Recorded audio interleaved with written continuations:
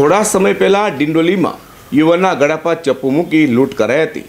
તે કિશોર સહિત ચાર લૂંટારોને ડિંડોલી પોલીસે ઝડપી પાડ્યા છે.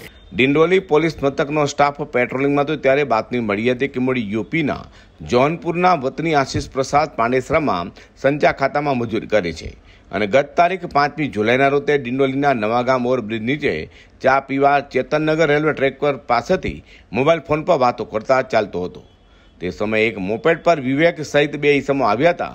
ત્યારબાદ ઋતિક ઉર્ફે કીકી તથા ઉમેશ શિરસાટ નામના બે ઈસમો આવ્યા હતા. અને આશીષના ગળા પર ચપ્પુ મૂકી તેના ખિસ્સામાંથી બાળ કિશોરે મોબાઈલ ફોન કાઢી લીધો હતો અને ત્યારબાદ તેને ઢીકા મૂકીનો માર મારી ભાગી છૂટ્યા હતા.